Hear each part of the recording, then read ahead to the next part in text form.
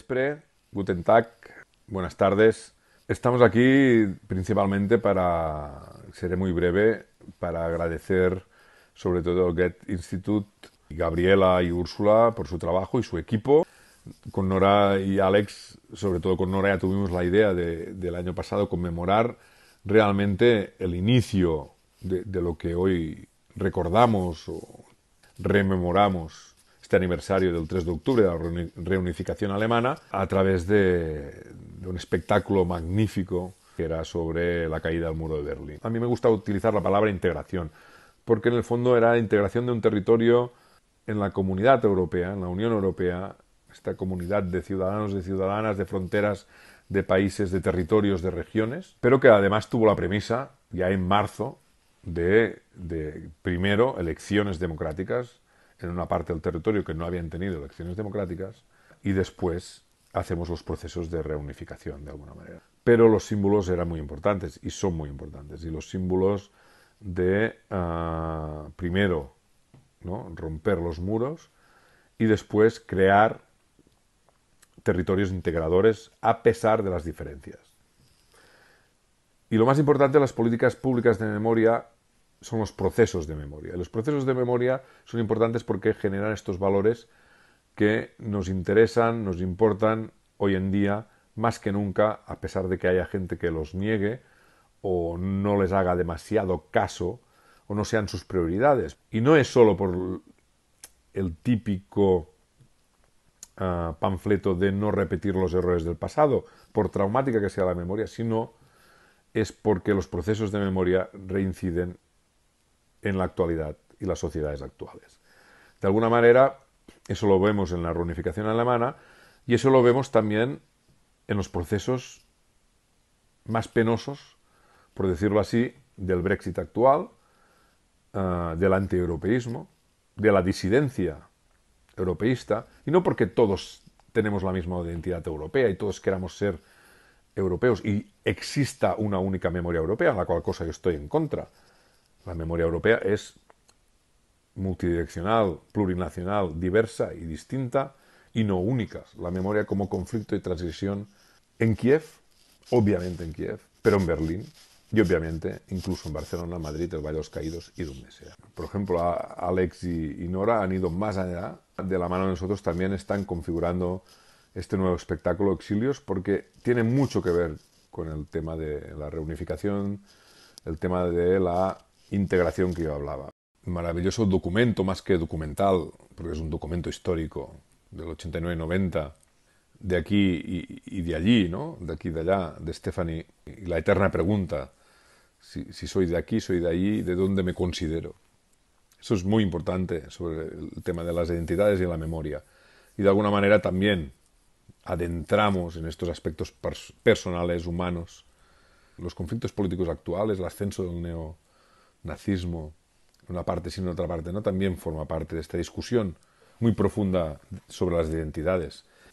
De alguna manera, la reflexión y el aprendizaje de estos años pasados, no tan lejanos, sobre todos estos temas, la historia nunca es igual, no se repite, no es cíclica.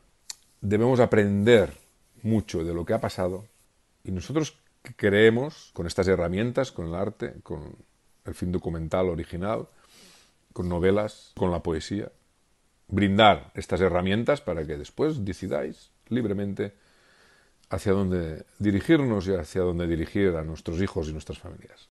Benvinguts, bem-vindos, herzlich willkommen im Goethe-Institut.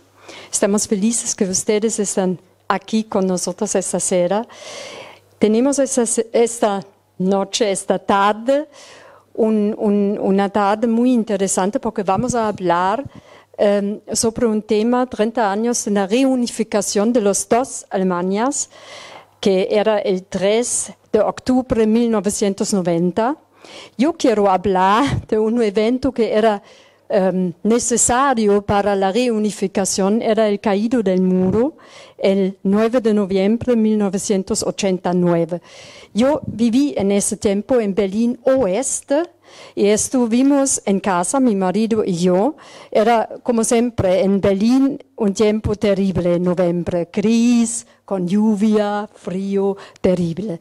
Y nosotros estuvimos en casa y mi marido estaba estirando y siempre cuando estira está mirando televisión con un occhio. Y un momento llegó a mí y me, dicho, me, me ha detto, yo he ascoltato una cosa strano che eh, il muro está abierto. Io dico, no, tonto, tu has ascoltato, ascoltato muy mal y quizás era una ficción, yo no sé. Y bueno, seguimos las, la, la, la noche y después de media hora hemos oído un, un rumor en, en, la calle, en las, la calle alrededor de nuestra casa, eh, muchos claxon, como se dice, de, eh, como se dice, eh, de los eh, eh, coches, y hemos mirado de la ventana y era lleno de trabis. Y en ese momento hemos pensado que tiene que ser algo que está muy, muy raro, muy extraño. Y por eso hemos salido en la calle con, eh, con una botella de champaña y hemos festejado mucho esta noche. Hoy, esta, eh, esta noche. Hoy vamos a hablar también de eventos, que, que de, de un recuerdo que todos es, nuestros invitados tenemos aquí con nosotros, cómo ellos han sentido y cómo ha eh, cambiado también Alemania con las perspectivas que teníamos y cómo son hoy. Yo estoy muy feliz que hemos organizado eso insieme con Euron y yo saludo a Oriol que está con nosotros esta sera y yo da la palabra a él. Bienvenidos ancora. Gracias.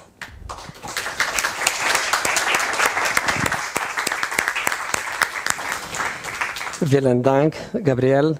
Buenas tardes a todos y todos. Eh, muchas gracias por haber... Ay, me dejan sacármela este ratito. Eh, bueno, eh, daros la bienvenida al, al, Goethe Institut en este acto organizado por el Observatorio Europeo de Memorias de la Universidad de Barcelona. El director no ha podido venir, pero bueno, buena parte del equipo estamos aquí para, para daros la bienvenida y, coordinar un poquito el acto. Lo que os proponemos es hacer un ejercicio de memoria. ¿Qué, significa esto? No? Eh, el recuerdo de... Um, de procesos pasados, procesos políticos sociales del pasado. Esto es lo que nos dedicamos en el observatorio desde la universidad. Intentamos eh, establecer una clara diferencia entre lo que es la historia, ¿no? esa ciencia que a partir de, de documentación y de evidencias pues, eh, escribe el relato de lo que pasó, de la memoria. La memoria individual, la memoria colectiva, la memoria incluso oficial o estatal, los buenos y los malos usos de la memoria. Todo esto que es a través de los años que se puede ir haciendo. Justamente es eh, por esto que hemos organizado el, el, acto de esta tarde, para saber cómo recordamos el, la caída del muro y la reunificación alemana no cómo pasó, cómo la recordamos, cómo se ha ido eh, transmitiendo de generación en generación. Y a ver si con la perspectiva de 30 años se verá de manera distinta. Bueno, simplemente agradecer nuevamente a Gabriel, a Úrsula, a todo el equipo de comunicación del Goethe Institut por su generosa colaboración. Eh, al equipo del Eurom, en especial a Fernanda, que ha estado de la, um, encapçalant el projecte evidentemente al equipo artístico de, del evento de esta, de esta tarde, Stephanie Kremser, Nora Bushman, Alex Brendemul, moltes gràcies, muchas gracias. Um, a l'Ajuntament de Barcelona i a la Comissió Europea, perquè són les institucions que, que nos dan apoyo al Observatorio Europeo de Y bueno, eh, a continuación vamos a, visionar eh, una parte del documental que Stephanie Kremser eh, grabó entre el año 89 y el 90. Así veis la, la las fechas clave que, nos interpelan esta tarde. El documental titulado Hin und Her, d'aquí i d'allà, ho hem traduït al català, de aquí y de ahí, en castellano, nos relata justamente este proceso de mm, desintegración del, del bloque eh, del este, del bloque soviético, y la integración o reunificación de las dos Alemanias. Uh, Stephanie nació en Düsseldorf, eh, de pequeñita se trasladó a Brasil y luego volvió a Alemania eh, a estudiar en Múnich, justamente cuando eh, el muro cayó. Y desde hace unos años vive en, en Barcelona, así que es eh, una, yo creo que un, una personalidad ideal para explicarnos un poquito eh, lo que hoy estamos tratando. Stephanie, con Bulgis. Sí, pues eh, vamos a ver un, es, es un, fragmento documental, um, un documental que hice en 1989 junto con mi colega y compañera de estudios de la Escuela de Cine de Múnich, Margit Ruile, y empezamos con la, la- tuvimos la idea en el verano cuando tanta, cuando había las empezaron las imágenes de los refugiados de la Alemania Oriental que iban que intentaban cruzar la frontera verde, ¿no? Y entonces hemos decidido intentar hacer un- una película sobre algunas personas que ah, que dejaron Alemania Oriental en diversos puntos y de diversas maneras, no en este, no en aquel año, sino en momentos diferentes. Y la cosa es que mientras ah, estábamos preparando la película, estábamos, ya, estamos a punto ya de entrevistar las, las personas, son tres partes, son tres, tres familias, digamos, cayó el muro y con esto también sí, nos atropelló como a muchos, ¿no? como a todos y, y con estos cambiamos, también tuvimos que cambiar un poco el planteamiento de la película, por esto fuimos dos veces en, en noviembre, en invierno de 89 y en y finales de en, en febrero o marzo o creo que primavera del 90 tres meses después Um, una cosa es un detalle mm, por la calidad de la imagen éramos estudiantes no teníamos dinero entonces en Alemania occidental tenías la posibilidad de comprar material de cine en nuestro caso 16 milímetros blanco y negro, en Alemania oriental. Este, este era el famoso OVO material, que, es, um, que tiene un, un- contraste muy fuerte.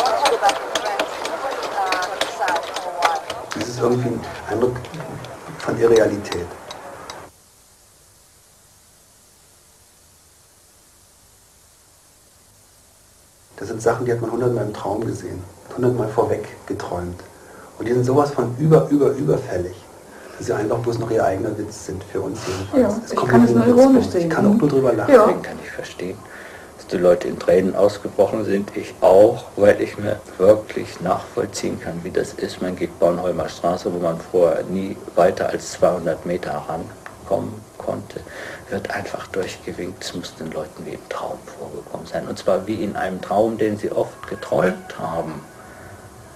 Und den sie deshalb für so unwirklich halten, weil sie ihn als Traum schon so oft erlebt haben und deswegen mussten sie sich mal anfassen oder wollten bloß mal über die weiße Linie gehen, erstens um zu sehen, geht es wirklich und es ist so unfassbar. Ich habe sofort meine Freundin Simone angerufen und wie findest du das, sage ich, weißt du noch, wir haben in Dresden gesessen und haben überlegt, wie schön das wäre und nur gesponnen, ja. Nicht? Einmal ein Bier am Kuhbahn trinken, das ist genau das, fasst es zusammen. Ja, kann ich verstehen. Was soll ich da sonst? Naja, sonst, ach Gott. Das ist ganz schön, aber es ist, es ist nicht so wie was Großes und Berauschendes, überhaupt nicht. Es wäre jetzt vielleicht anders, wenn wir auch mit drüben wären. Vielleicht. Dann würden wir vielleicht diese Euphorie mitmachen. Aber diesen Schritt, den haben wir vor fünf Jahren gemacht. Ne? Zwei Jahre lang schon. Da haben wir das erlebt, wie es ist, wenn man von hier nach da kommt. Wenn die Mauer fällt.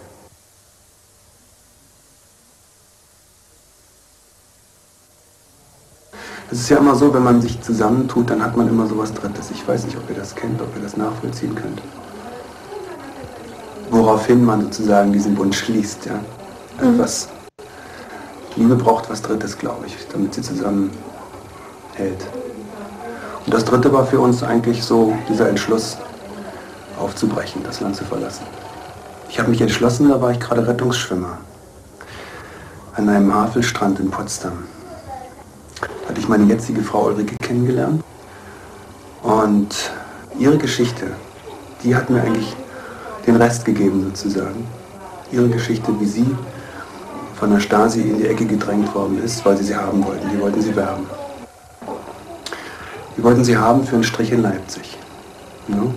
Zur Leipziger Messe gibt es einen Stasi-Strich. Naja, die Stasi will ja an die Westleute irgendwie rankommen. Nicht wahr? Und das ist die beste Möglichkeit. Hat auch da schon ein Zimmer gekriegt, ist schon eingekleidet worden, es war schon alles soweit. Ne? Und dann im letzten Moment ist er ausgerissen ist abgehauen. Kam nach Potsdam. Ich war gerade sozusagen von einem hoffnungsvollen Nachwuchskader, künstlerischen Nachwuchskader, zu einem nutzlosen Subjekt geworden. Das hatte die Gründe, dass in Polen der Aufbruch losging mit Solidarność, diesen Gesprächen am runden Tisch mit der PVAP. Ich hatte es gewagt, einen Gesprächspartner bei der polnischen Botschaft anzufordern für unser Regieinstitut, ganz offiziell als Studentenvertreter.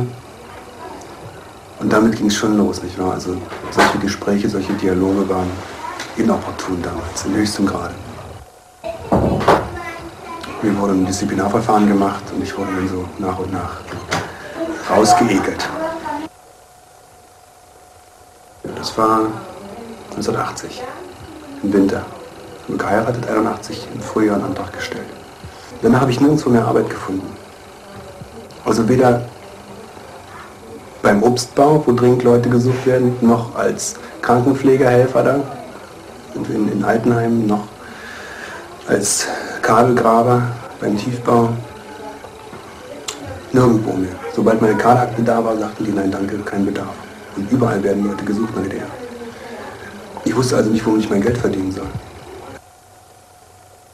Obwohl es mir ja im Vergleich damals zu den meisten anderen gut ging. Ich durfte reisen, wenngleich sehr selektiv, aber immerhin anerkannt und alles dieses war ich auch. Und wie gesagt, voriges Jahr im 10. September oder so wäre ich auch Professor geworden, einfach so, aber es hat mich nicht gehalten.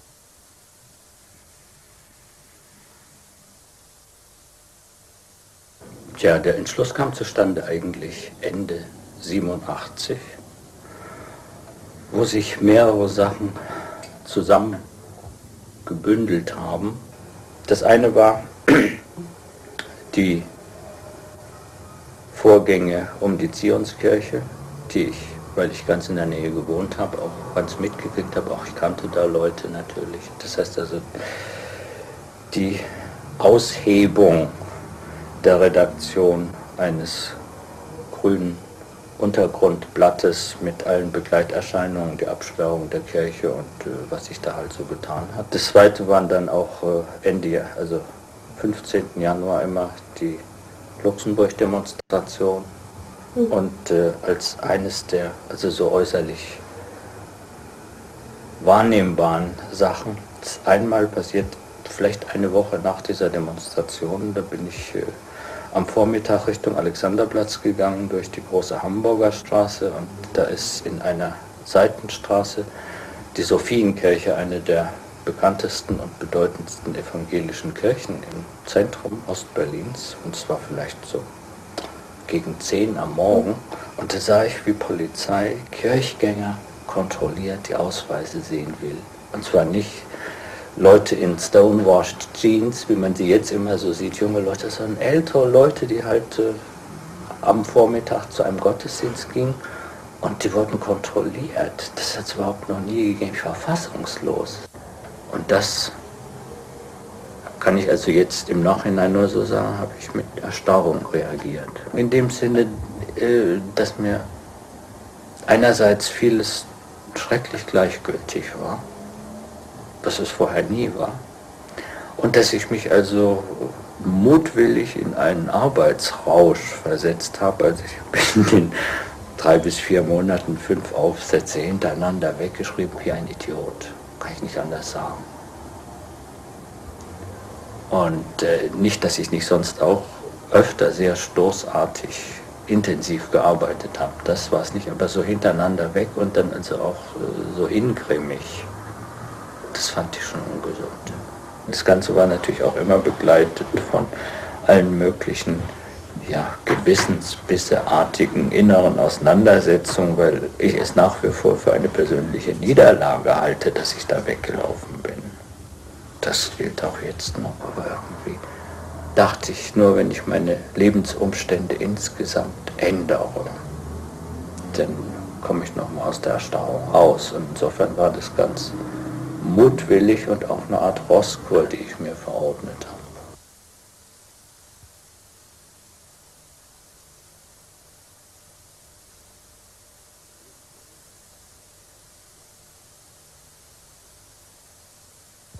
Jetzt von Halle aus nach Dresden zurückzugehen, das war also fast ein Ding der Unmöglichkeit.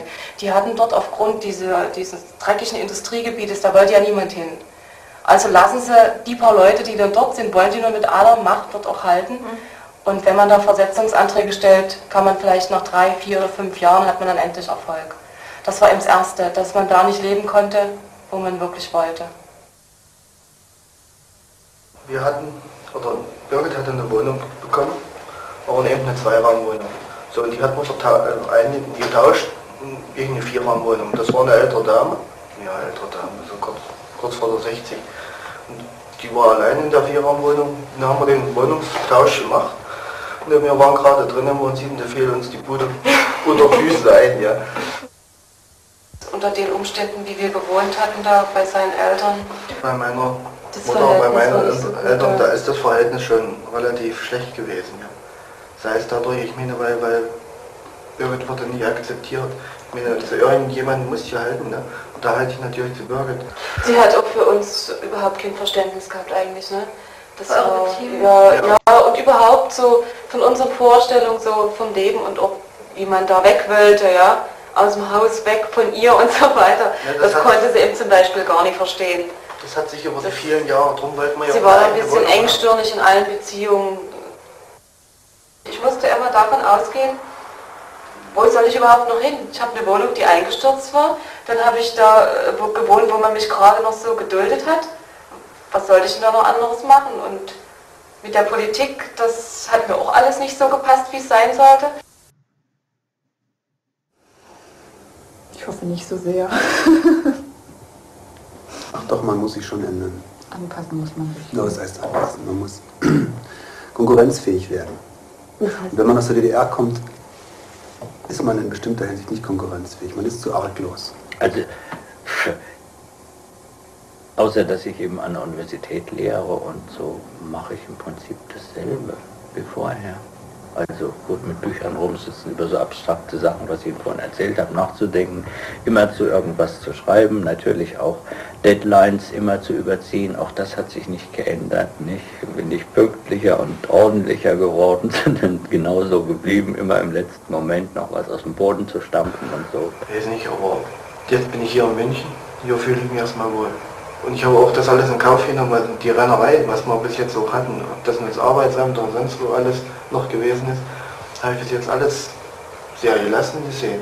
Das wäre drüben hätte man wahrscheinlich, wenn man Klasse oder sowas, ja nicht geklappt direkt, aber ein bisschen durchgedreht wären wir das schon. Es gibt kaum was, was mich elektrisieren würde, gibt aber auch nichts, was mich äh, niederknüppelt es geht verloren langsam. Also dieses unbedingt Zusammenhalten, weil man aufeinander angewiesen ist, weil ihn keiner rettet, wenn man sich nicht zusammenhält. Weißt du? Das geht langsam verloren.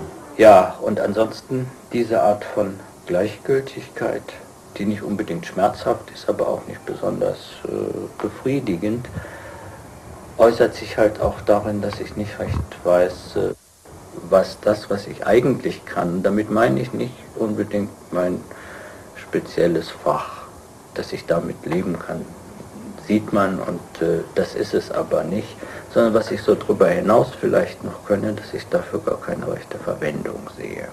Man merkt, man kommt alleine besser voran. Da, mir geht es so, die ganze Familie, dieser ganze familiäre Anhang, der stört immer mehr und hängt mir immer mehr als Klotz am Bein. Ich merke immer mehr, wie mich es beruflich behindert. Drüben hat es mich nie behindert beruflich, weil es da nicht ums Fortkommen ging, sondern darum zu überleben. Und überleben konnte man in der Gemeinschaft am allerbesten. Hier geht es um ganz andere Sachen. Das ist ein wehmütiges Gefühl, oder? bitte? Das ist nicht nur wehmütig, das, ist, das, ist, das geht an die Substanz. Dann, dann, dann, dann, dann denkt man plötzlich an Trennung, dann denkt man an so schlimme Sachen. Das finde ich, also das hat mit Wehmut nichts zu tun. Eine Trennung von der Familie oder? Ja, Trennung zwischen Familie und Beruf. Ne? Entweder, entweder oder. Entweder er ist arbeitslos und widmet sich uns, oder er macht seinen Gang. Ne? Darauf läuft es hinaus. Darauf läuft hinaus. Immer höher, immer weiter. Und wenn ich nicht höher laufe, dann falle ich auch hinten runter. So ist es. Wie wir, das, wie wir, das, in Einklang bringen, das wissen wir noch nicht. Ne? Mhm. Das sind jetzt die Erfahrungen, die wir jetzt machen. Mhm. Jetzt im Augenblick.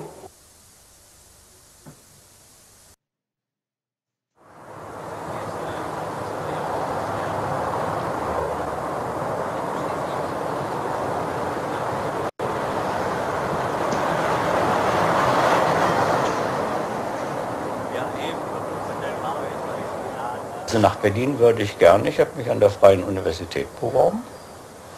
Für eine, ja, für eine Professur an der Freien Universität. Und dann würde ich also eine Filiale der Akademie dort eröffnen. Ist es denn eigentlich ein Zurückkehr? Also sicher nicht, kann es auch gar nicht sein. Die DDR ist auch mehr und mehr im Verschwinden. Zu ihr kann man gar nicht zurückkommen. Was aber bleiben wird, ist natürlich das, was man an DDR in sich trägt. Und das werde ich auch nicht so schnell ablegen.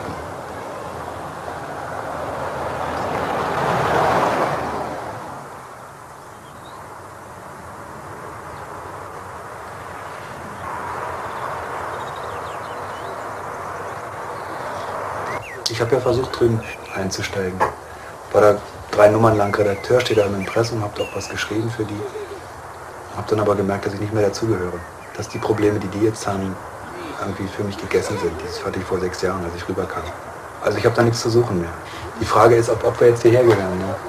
Nee, wir gehören nicht hierher. Sagen, nee. Wir meistern den Alter. Aber das, das Land gibt es nicht mehr, das stimmt. Aber weißt du, was, wozu wir gehören, das ist eigentlich unsere Sippe. Wir haben uns unsere eigene Sippe geschaffen. Richtig. Und unsere, unsere, unsere eigene Gruppe. Da halten wir uns dran ne? fest. So wir sind diese kleine Gruppe. Wir sind ja. wie so eine Enklave. Ne? Ja, so einer Familie. Ja, ja, das ist die Familie.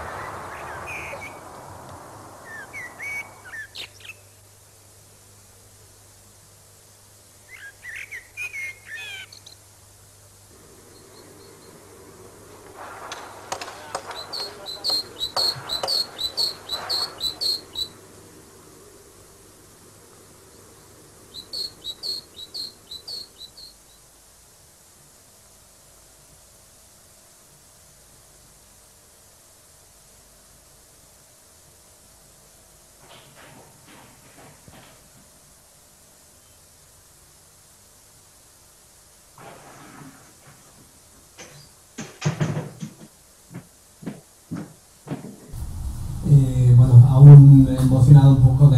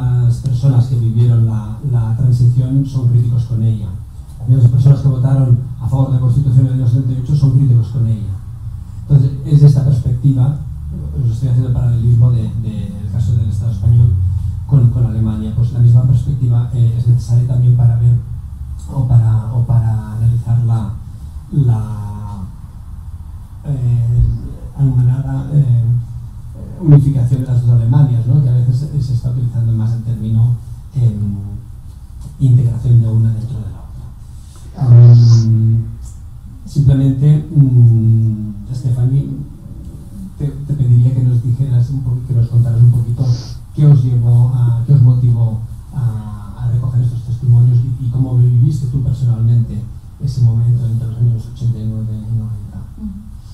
Sí, bueno, primero entonces esto que nos impactó mucho a Marita y a mí las imágenes de los refugiados en aquel verano y, había un, artículo publicado por Martin Arens, uno de los que están de los entrevistados, que parecía así muy, muy inteligente y, le contactamos y con esto empezó la, la, la recerca y la construcción entonces de los personajes ¿no?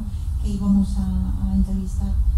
Mm, Para mí especialmente fue, fue increíble porque yo era una alemana del trópico, yo había llegado del Brasil hacía un año y no tenía ni idea de nada. Yo pensaba que toda Alemania tiene un muro, por ejemplo. No entendía esto de. No, no era Berlín, sino pensaba toda Alemania, la idea está mm, rodeada como, como, el, como el muro de la China, ¿no?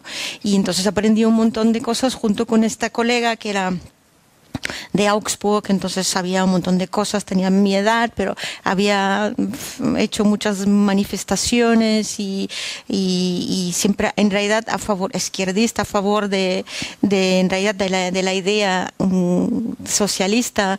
Eh, Había una mitificación y con esta mitificación mm, fuimos a hacer la película entregadas a ver si descubríamos el mal, el mal del capitalismo de la, ah, de la ah, República Federal ¿no? de Alemania. Em, para mí fue también una cosa, una, una cosa muy impactante, para mí, realmente impactante, en entender que yo no entendía eh, tanto la historia, los códigos mm, políticos o sociales de estos alemanes eh, orientales, porque yo justo acababa de en- empezar a entender más o menos estos códigos de Alemania Oriental, porque yo venía del Brasil, em, yo solo tenía la lengua en realidad como el punto común, y, y entonces yo les vi como migrantes, eran migrantes, y eran migrantes que podrían haber sido migrantes a cualquier otro país, de cualquier otro país a cualquier otro país, más o menos así, en el sentido que la gente esperaba, ellos mismos creo, esperaban encontrar algo mucho más mm, fraterno, o sea, más, más cercano. Pero ¿por qué en realidad? Porque había esta idea, ¿no? Hay estas dos, para mí era así, estas dos Alemanias, dos sistemas muy muy diferentes, pero en el fondo, en el fondo es la misma gente. Y yo creo que no. Al final, con tantos años de, fueron muchos años, con, y, algunas generaciones, esto cambia, obviamente, un montón de cosas y, y- códigos, códigos sociales, códigos mm, mm, también fa- familiares, otras ideas de cómo, cómo hay que funcionar una, un sistema, una familia, una ciudad, una comunidad, una fábrica, no sé, ¿no? Muchas cosas. Y esto para mí fue, fue muy interesante. Y una cosa, no sé si puedo añadir algo todavía, es que entonces, como éramos estudiantes, 89 fue el primer año donde estudiantes de la Escuela de Cine de Berlín Est podían visitarnos en Múnich. Y esto fue la, primera, la última semana de octubre de 89. Y fue entonces que Maggie y yo conocimos agente de HFF, eh, sí, Konrad Wolf, Babelsberg. Y estos mismos estaban en el Festival de Múnich de Estudiantes cuando cayó el muro y un montón de productores y personas de la tele dijeron que, quédense, quédense, les damos contratos, ustedes son súper interesantes y increíblemente talentosos. No, todos, todos se metieron al momento en los coches que tenían o en el tren para, para volver, para participar, para vivir esta noche en su país. No había nadie se planteaba que dejaría de ser su país. ¿no? Y uno de ellos nos ayudó a hacer la filmación en Berlín Oriental. Son las calles estas que se ven, que solo hay una escena aquí, pero nos ayudó. Y ahora este, este muchacho que se llama Peta es un productor y hicimos año pasado una película juntos por primera vez en 30 años y fue muy lindo. Y entonces él, ahora que está digitalizada la película, la vio también por primera vez. Él es de allá, se quedó allá, se quedó en, en, en Babelsberg. Mm, digo allá porque sí que hay un allá, de cierta forma, y con sus amigos. Y, y, también esto fue muy emocionante porque dijo, esto es un, si esto son, dijo, él es diferente, bueno, porque son muchas voces, pero dijo, son yo, ellos son yo, en estos aspectos diferentes. Bueno, ahí, ahí. Gràcies. Um, Àlex, Àlex Brendemul, uh, de pare alemany, la seva família paterna eh, prové de, de l'antiga uh, de, de l'antigua Alemania del Este y eh, su padre se trasladó a, al Berlín Oeste antes de, de, de, venir a Barcelona. Entonces, Alex, mm, cuando echas la mirada atrás, ¿cómo, recuerdas es, esos finales de los 80, principios de los 90, desde, la experiencia familiar en casa? Bueno, eh, buenas noches. Eh, sí, mi familia fue víctima de realmente la separación del, de las dos Alemanias. O sea, mi padre eh, se, se, fue a vivir a, a la RFA en el 61 eh, y quedando toda su familia al otro lado del muro, ¿no? Entonces eh, fueron años, él con 19 años se quedó solo, en, sin, sin, familia y sin poderla ver durante varios años y, y fue una experiencia muy traumática. Luego eh, yo recuerdo de muy pequeño ir a visitar a mi familia a, a Alemania del Este y bueno, lo recuerdo en, en blanco y negro porque es, es, como te quedan los recuerdos, ¿no? Y, y, me parecía un entorno, pues mira, mágico, pues como te, lo parece como niño, ¿no? Muy diferente, ¿no? Pero um, luego mis abuelos consiguieron pasar en el 77 eh, gracias a un amigo que trabajaba en el, en, el, en, el, en el Ministerio de Asuntos Interalemanes, los compraron para, mm, para salir a la, RFA, mis abuelos y dos de mis tíos, con lo cual fueron, fueron mercancía, fue un mercadeo, lo que se hacía con, con muchos con, personas que se compraban o se, cambia, se intercambiaban presos o se intercambiaban personas eh, por dinero, ¿no? Entonces, eh, mi familia tuvo la suerte de estar metida en, un asunto como este, pero que es terrible, ¿no? Si piensas que, que se, negociaban con, con, seres humanos, ¿no? Entonces se fueron a vivir a Kassel y yo empecé a ir a, de niño a, a, Kassel, una ciudad pequeña en, el centro de Alemania, y para mí Alemania era luego era eso digamos una ciudad pequeñita donde eh, bueno donde los jardines la, la, el, césped crecía verde y las casas tenían unos un, estaban cuidadas y había unos paisajes bonitos y todo esto y seguía viendo parte de mi familia, de mis tías y mis primos que seguían viviendo en, en, la otra Alemania, ¿no? Entonces era una realidad que en nuestra familia estaba muy presente, que había dos Alemanias y había una parte de la familia estaba en un lado y la otra estaba en la otra. Y luego nosotros estábamos en Barcelona, o sea, mi padre que ya había renunciado a vivir a Alemania y que nunca se plantearía volver porque ya a dónde pertenece, no pertenecía ni a una Alemania ni a la otra en cierta medida, ¿no? Entonces, eh, eh, lo siguiente ya fue eh, yo viaje de estudios eh, con el colegio alemán, que nos fuimos en el 89 a ver esa Alemania, conocerla, cruzamos la Transitstrecke por la autopista esta que había que cruzaba Alemania para la RDA para llegar hasta Berlín. Eh, vimos el muro, lo vimos, entramos en, Berlín Oriental, eh, con esos 30 marcos que había que cambiar, pasar por Friedrichstraße, em, con aquellos espejos que había que te, te miraban, te controlaban por todos lados y pasabas eso, pasabas de un mundo de color a un mundo en blanco y negro, que era, que era Berlín Oriental, que no podías comprar nada, no sabías en qué gastarte ese dinero porque no había nada de valor, ¿no? En principio todo era menos luminoso de lo que teníamos en el, en el, en el oeste, ¿no?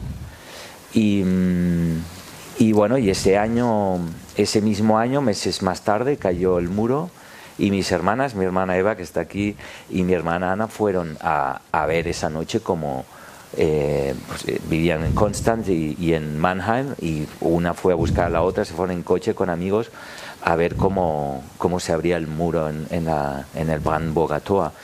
Y, yo estaba aquí con mi padre y, lloramos y fue como fue un momento que se, algo se rompió, ¿no? Algo se, se unió y se rompió también. Fue una, fue una experiencia muy, muy bestia, o sea, decir, eh, nadie había contado con que eso volvería a pasar y pasaría tan pronto y pasaría en ese momento, ¿no? Se precipitaron mucho los, los acontecimientos, en poco tiempo de repente con el Glasnost, con Gorbachev, con mm, cómo empezaron a pasar los, los acontecimientos en los diferentes países del este y, y, todo fue como muy rápido como para asimilarlo y de repente pues... Eh, estaban ahí subidos al muro y, picando con martillos contra, contra el cemento. Aquello fue, fue extraordinario. Y recuerdo entonces, em, el año siguiente me fui, de, me fui en autostop por Europa, me fui de, de Holanda a, a de, de, La Haya a Berlín en autostop y, y nos recogieron unos, unos chicos que venían de de Bernau, al lado de, Berlín, y venían de comprar BMWs, eh, coches de, Occidente, porque mucha gente lo primero que hicieron eh, fue, pues yo me compro un coche como los que tienen los, los de la Alemania occidental, ¿no? porque era como una cuestión de estatus. ¿no? De repente empezó la fiebre por el consumismo, por, por tener lo mismo que tienen nuestros hermanos de la otra Alemania. ¿no? Y eso fue un poco igual la otra cara, ¿no? El ver que, mm, que por ejemplo, eh, los sueños que tenían eh, mis familiares en, en, la RDA, que era igual, que había un mundo mejor fuera de esas fronteras, que, que era una, la posibilidad de, de un sueño, de, de, una vida más luminosa, más fácil, más bonita, de repente se convertía en cuanto salían y en cuanto fue la realidad de la unificación, en que eh, se volvía un mundo mucho más competitivo, donde había unos valores que, mm, que no coincidían con sus valores o que no los entendían y que de repente eh, tenían esa realidad, pero ya habían perdido ese sueño de otra, de otra perspectiva de una vida mejor. ¿no? Entonces, yo, por ejemplo, recuerdo la cara de un amigo de mi, de mi padre, cuando vino a visitarnos aquí a Barcelona y um, Uli se llamaba, Ulrich, eh, en la estación de Sanz se subió a un taxi y el taxista eh, le, digamos que por un recorrido de 5 euros le cobró 35 euros. Le estuvo dando vueltas por Barcelona en taxi. Entonces era un señor que venía de Potsdam eh, con toda la ilusión de venir a visitar a su mejor amigo de, la juventud y conocer Barcelona y, llega a casa de mis padres y dice, ¿qué te ha costado el, taxi? 30 euros o 35, algo así, una locura. Y nos miramos así y le tuvimos que decir, te han tomado el pelo, te han engañado. Entonces el capitalismo este que te ha engañado y que nos está engañando y nos está intentando robar lo, lo que no tenemos, ¿no? Y lo recuerdo aún sentado con una camiseta de tirantes en, el balcón, no entendiendo nada de lo que era este mundo loco y este capitalismo que, que, era a lo que ahora se podía aspirar. ¿no? Entonces, eso fueron un poco los, las primeras imágenes, ¿no? mis primos eh, venir a visitarnos aquí, mirarnos a nosotros también un poco como esos niños mimados que no valoran nada, que tienen todo y disfrutan de, todas las comodidades y la posibilidad de la libertad de, conseguir lo que quieras, ir donde quieras y, que un poco eh, lo que decía, bueno, como Erich Fromm, ¿no? el miedo a la libertad, ¿no? ese miedo a, la, infinidad de posibilidades que te ofrece esta libertad y que en el fondo era más fácil cuando tenías la vida más establecida, todo más organizado, el, Estado te protegía, te, decía lo que tenías que hacer, lo que no tenías que hacer, y, tú encontrabas tu espacio de libertad dentro de ese marco, ¿no? Tú podías viajar, volar, dejar volar la imaginación y crear muchas cosas em, desde, desde eso, desde tu desde los pequeños trucos y los engaños que le podías hacer al sistema y la capacidad de, viajar y volar y soñar. Eso de repente se, acabó y te se encontraban pues con, la realidad de tener que, competir y, no estaban preparados para competir. Y luego la absorción de, de la RDA a nivel a, muchos niveles pues fue muy salvaje y muy dramática. Fue una especie de colonización económica que aún, aún está mm, teniendo su eco hoy en día, ¿no? que cada vez se está difuminando quizás más, pero sigue estando muy presente esta, esta diferencia, esto que se decía, ¿no? de ciudadanos de primera y de segunda, em, y cuando de repente fue mm, la pequeña Alemania se tiene que adaptar a la gran Alemania porque eso es lo que funciona y lo que se ha probado que es el sistema que, que, mm, que, triunfa en el mundo y además es una economía floreciente y esto no, no, no hubo ningún tipo de cuestionamiento. Y eso es lo que de repente pues generó muchas, muchas dudas y muchas decepciones y muchas y mucha tristeza, ¿no? El ver que lo que habían construido eh, las personas en cuarenta y pico de años, de repente se, se, destruía de hoy para mañana y lo que tú habías sido un valor tuyo, una formación, un, conocimiento, de repente te, te, tenías que reciclar, reinventar, como se decía. Por cierto, enhorabuena por el documental. Hay muchas cosas que que se reconoce y que... Sí, tú mismo estás diciendo, ¿no? Cosas que han salido reflejadas en el documental como la competitividad en la que se debieron enfrentar los bueno, ciudadanos. como una eh, no, no, no, eh, muy interesante Alex y bueno, eh, creo que has dado en el clavo en, en, una de las ideas, ¿no? La rapidez en que se desencadenaron todos los hechos en el año 89, pues no solamente en Alemania, sino en, en Hungría, en Polonia, en Bulgaria. Solo quiero decir una cosa, lo que sí, ahora que estoy trabajando muchas veces en Alemania, que en muchos ámbitos profesionales mucha gente se encontró con que no servía para, para trabajar de lo que hacía y se tuvo que, que o jubilar o reciclar en otra cosa. En mi trabajo como actor, eh, no paro de trabajar con actores de la, antigua Alemania del Este, porque eran mucho mejores que los de, los de Alemania Occidental. Y aún trabajan. Y aún trabajan, siguen trabajando y se sigue valorando mucho más la formación. O sea que sí que había muchas cosas que funcionaban mejor, igual que en, que en el oeste, pero mm, no se quiso ver en, muchos aspectos. ¿no? No, bueno, pues eh, eh, esto, esto que decías, la, la, rapidez, que quizás fue uno de los, de los puntos más críticos de, de, la, de esta transición, ah, no pasó ni un año entre la caída del muro y la reunificación oficial de las dos Alemanias, o sea, esto ya lo dice todo, ¿no? Mm, muy al contrario que, que el caso español, con una continuidad alargada del, régimen anterior durante la transición en el nuevo régimen. Nora, Nora Bushman, guitarrista de reconocido prestigio internacional.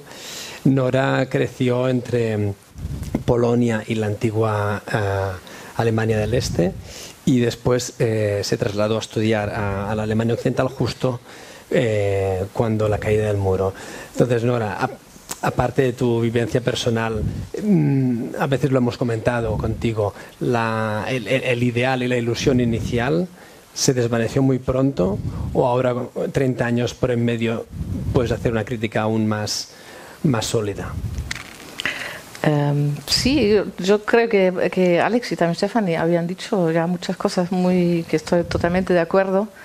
Em, que, que a, haber vi- yo, yo la única que, que aquí que vivió la infancia y toda la, también la educación hasta que estudiar música hasta el último año en la, en último año en Weimar en la universidad soy de Berlín del Este pero eh, me fui a estudiar en Weimar y con 20 años, eh, el último año cayó el muro. Entonces ten- tengo todos esos 20 años muy importantes.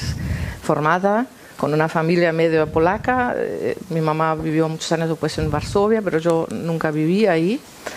Em, que creo que soy muy, muy alemana del este todavía, pero a la vez muy cosmopolita y creo que eso ya, ya estuvo antes con, como niña.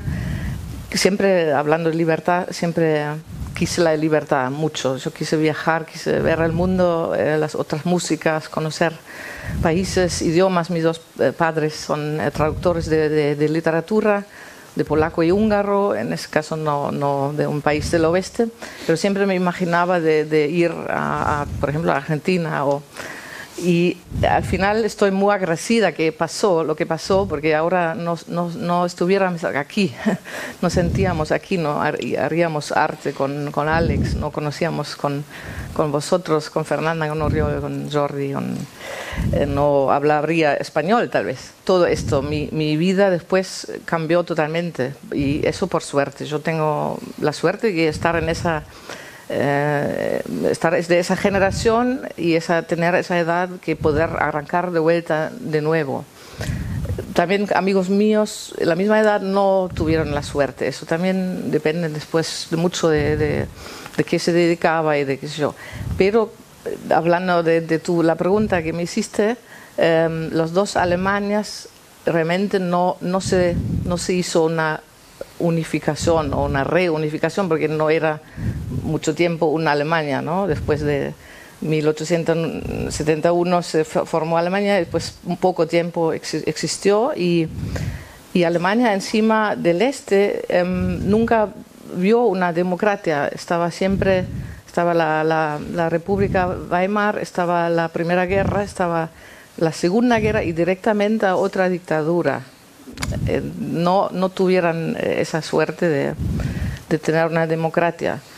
Y creo por eso también hay unas tendencias hoy en Alemania del Este em, que es un poquito ¿no? hacia el derecho más, eh, son des- desesperados, están como disappointed, como también, Decepcionados. bueno, mucha gente te- cambió, querían ese, esa reunificación, pero cambió su vida a- a- a brutal y a veces perdieron trabajos y bastante drama, diría. Y mi crítica es que no, no se hizo una tercera, hablemos ayer con Alex, una tercera eh, Alemania, una nueva, porque muchas cosas, el arte, la, la, eh, la medicina, la educación, aparte del ruso que teníamos que aprender obligatorio y, y- y la, la- historia que obviamente era ideológica, como nos, nos enseñaron la historia, pero en general eh, muy alto nivel en muchos trabajos, en muchos y eso de tirar por abajo y hacerlo todo igual como en Alemania del Oeste, para mi gusto es eh, es, un- es una cosa que no no funcionó, no no es el mejor la mejor manera. Y bueno, personalmente tengo muchas co- cosas de contar, historias de ya de la infancia, no sé, no tenemos tanto tiempo ahora, pero realmente muy, um, también cosas muy dramáticas y cosas muy, muy chistosas, muy curiosas, como la que di- dijo Gabriel hoy con el cómo, en qué momento, todos recordamos que qué momento se cayó el muro, ¿no? No sé si todos recordamos qué momento se reunificó Alemania. El tercer, hoy, hoy lo, bueno, lo rec- recordamos hoy. 3 de octubre. Gracias, Nora. No, es cierto que quizás para la, mm, la población no alemana también ha sido una novedad quizás esta, eh, esta nueva explicación que, que- que justamente desde las conmemoraciones de la caída del muro el año pasado empezamos a conocer mm, más ampliamente ¿no? esta reacción de, de- bueno, tú lo has resumido muy bien, eh, por qué no se creó una tercera Alemania, sino que una absorbió la otra, ¿no?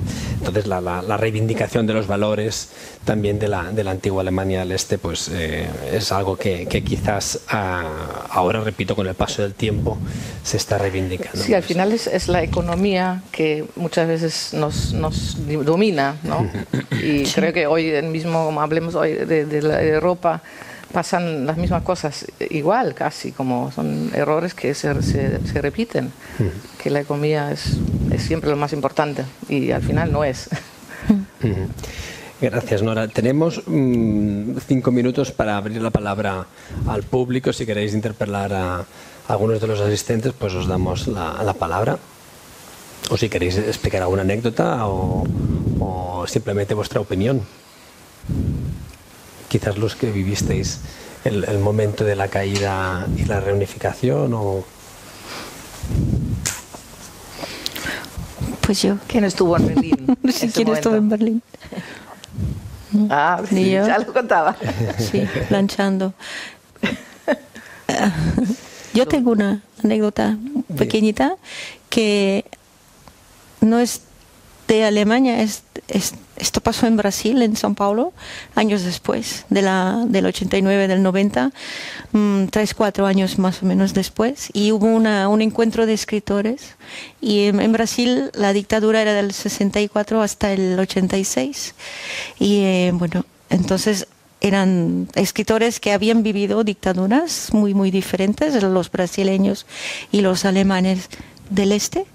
Solamente la- era como solamente un grupo de ¿no? escritores de, del este estaban invitados y era muy bueno no muy muy interesante ver que los brasileños estaban diciendo mira es que qué suerte no lo hemos sobrevivido qué bien no y podemos pudimos empezar otra vez y, y qué y qué lindo y no sé qué y los alemanes estaban totalmente muy amargos y tristes sí pero ahora ya no somos nadie no nos no, no nos no, no sabemos cómo sobrevivir no hay no tenemos lectores no sabemos cómo hacerlo necesitamos de agentes. Era esta nadie dijo qué bien que todavía estamos vivos.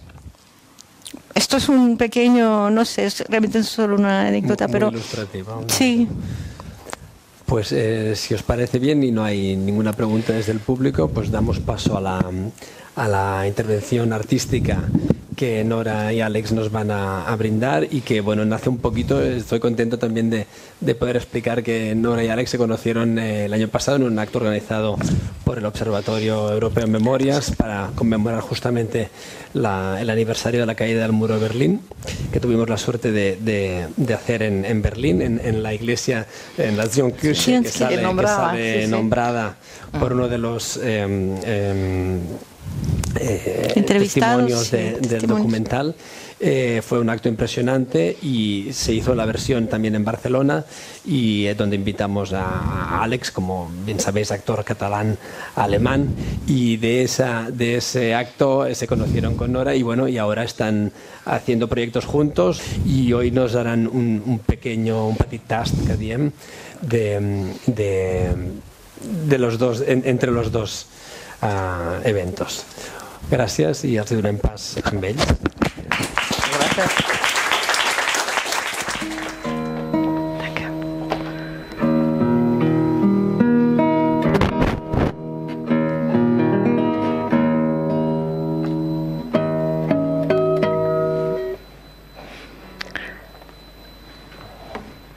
Voy a tocar una milonga de Jorge Cardoso. Es una pieza de Argentina, donde fui muchas veces y también es un poquito mi, mi segunda patria.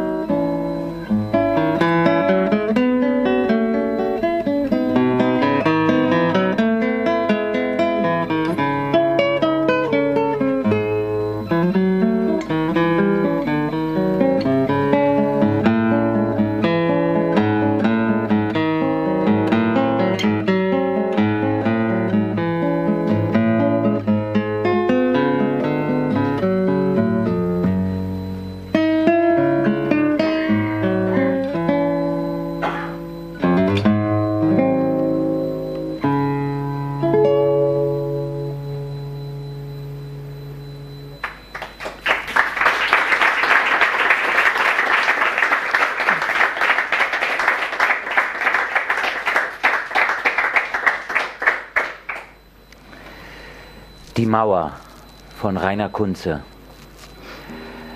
Als wir sie schleiften, ahnten wir nicht, wie hoch sie ist in uns. Wir hatten uns gewöhnt an ihren Horizont und die Windstille. In ihrem Schatten warfen alle keinen Schatten. Nun stehen wir entblößt jeder Entschuldigung. El mur. Quan l'enderrocàvem, no ens pensàvem que era tan alt dins nostre. Ens havíem acostumat al seu horitzó i a la calma, a la seva ombra. Ningú formava cap ombra i ara restem descoberts de qualsevol culpa. Mein Land ist mir zerfallen von Jürgen Rennert. Mein Land ist mir zerfallen, sein Macht ist abgetan. Ich hebe gegen allen Verstand zu klagen an. Mein Land ist mir gewesen, was ich trotz seiner bin. Ein welterfahrenes Wesen mit einem Spalt darin. Mein Land hat mich verzogen und gehe doch nicht krumm und hat mich was belogen und bin doch gar nicht dumm. Mein Land hat mich mit Widerwillen an die Brust gepresst und kam am Ende nieder mit mir, der es nicht lässt. Mein Land trägt meine Züge, die Züge tragen mich. Ich bin die große Lüge des Landes. Wir meint ich.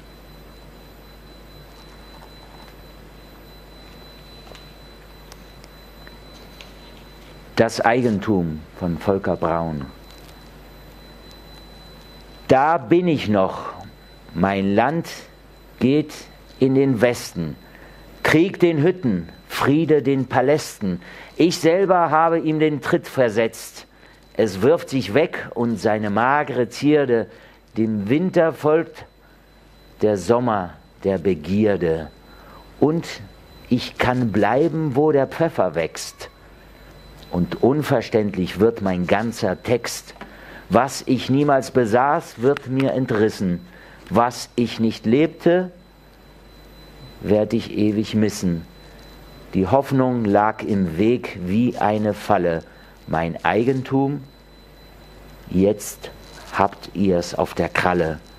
Wann sag ich wieder mein und meine alle? La propiedad. Aquí estoy todavía. Mi país va hacia el oeste. Guerra a las fábricas, paz a los palacios. Yo mismo le di la patada. Se degrada y queda su adorno seco. Al invierno le sigue el verano del deseo. Y puedo quedar en el culo del mundo. Y todo mi texto va a ser incomprensible. Eso que nunca poseí me lo arrancan. Eso que nunca viví lo voy a extrañar siempre. La esperanza estaba en el camino como una trampa. Mi propiedad ahora la tienen ustedes con sus garras. Cuando voy a decir de nuevo mío y que signifique todos.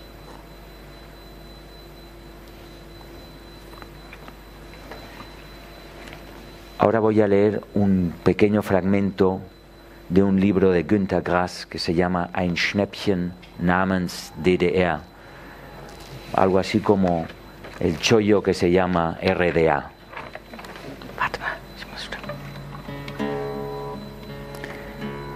Y mi compañera Nora Bushman va a tocar el preludium de Johann Sebastian Bach, de la suite cello número uno.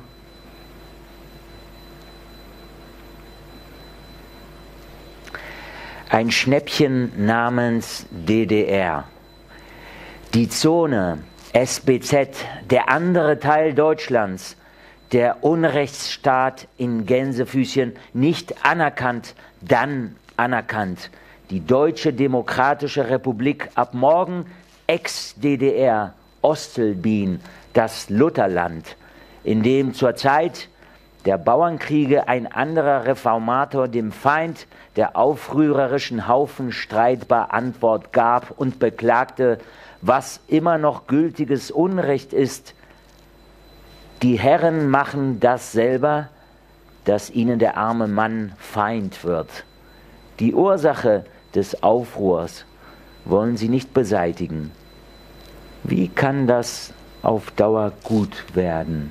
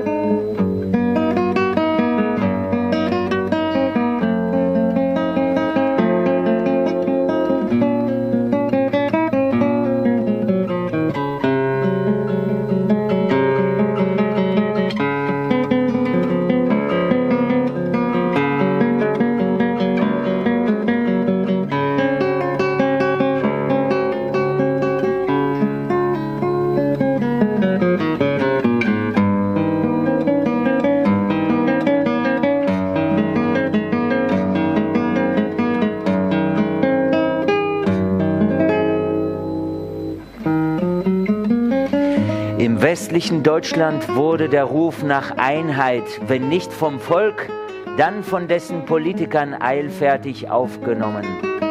Unter Verzicht auf gemeinsame Nachdenklichkeit sollte es schnell und schneller gehen, damit ja nichts anbrennt, hieß es. Zu sperrig sei das Möbelstück, runder Tisch. Wer weiß, wie lange sich Gorbatschow hält. Bedenken sind unzeitgemäß. Als der Weisheit letzter Schluss wurde eine Bahnhofsdurchsage wiedergekäut. Der Zug ist abgefahren. Und jemand, der sonst Probleme auszusitzen pflegt, glaubte, den Mantel der Geschichte rauschen zu hören, sprang auf und griff zu. Weil jedoch der Zwiemacht aus Zwietracht, die nun Einheit werden soll, der einigende Gedanke fehlt, wurde den Rufern nach staatlicher Einheit der materielle Teil ihres Wunsches durch ein Versprechen fasslich gemacht. Schließlich standen Mitte März, so schnell ging's voran, Wahlen ins Haus. Die versprochene D-Mark, die harte Währung, die glückverheißende Münze, der Gedankenersatz und Alleskleber, das Wunder in Neuauflage. Seitdem ist nur noch vom Geld die Rede, wenngleich eine Zeit lang salbungsvoller Maul gehurt wurde und das Doppelgesang Würde und Anstand den Karren ziehen musste. Doch würdeloser und unanständiger hätten die deutsche Einheit und deren Gefährt nicht eingepeitscht und vorangetrieben werden können. Was zum Schrott erklärt wurde, ward Schrott. Unterm Strich gerechnet bleibt immerhin positiv zu bilanzieren, dass es den westdeutschen Handelsketten gelungen ist, ihren Markt zu erweitern, die Gunst der Stunde flächendeckend zu nutzen, das drüben einheimische, ohnehin minderwertige und schlecht verpackte Produkt zu verdrängen und ohne investieren zu müssen, ein Schnäppchen zu machen. ein Schnäppchen namens DDR.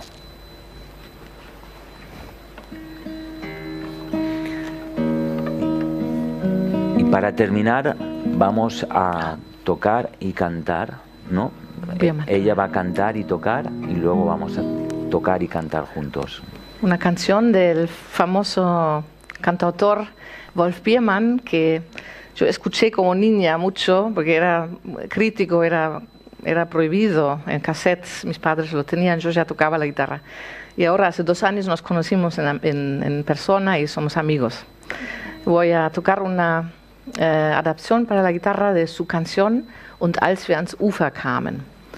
Creo que hay una traducción ahí.